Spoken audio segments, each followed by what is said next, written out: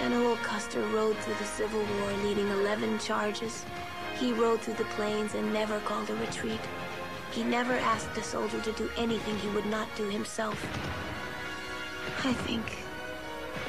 What was it like for him at the end?